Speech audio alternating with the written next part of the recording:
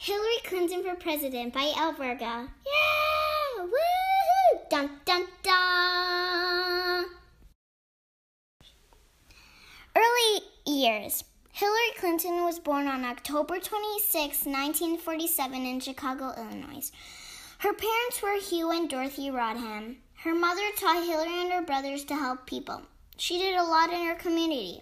For example, Hillary helped organize carnivals and food, food drives and fundraisers. She was part of the United Way Girl Scouts. In sixth grade, she was elected captain of her school's safety patrol and wrote a 29 page report about her life.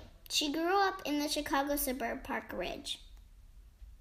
Hillary Diane Rodham's teenage years in high school. In high school, Hillary became class vice president. She also learned a lot in school and made a lot of friends. College years. In 1965, Hillary entered Wellesley College, an all girls school in Massachusetts. She graduated four years later with a degree in pol- political science and was elected senior class president in 1969. In 1973, she earned a law degree from Yale University where she met Bill Clinton. Meeting Bill Clinton. Hillary met a young, intelligent man at Yale University. His name was William Jefferson Clinton. They had a lot of things in common, and they shared a love a love for law and politics.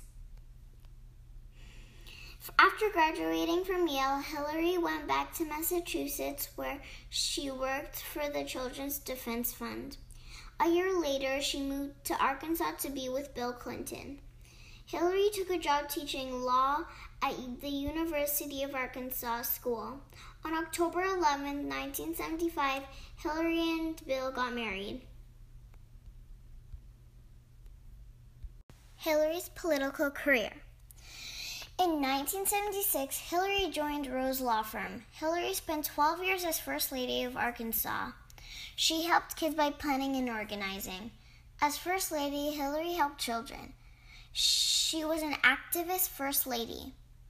She was also the First Lady to run for, for public office. She always fought for education, children, and families. She was also a senator for New York State. Hillary has run for president twice. The first time in 2008, she ran for Democratic nomination against Barack Obama, but she did not win. She currently she is currently running against as the Democratic nominee against Donald Trump for the President of the United States of America.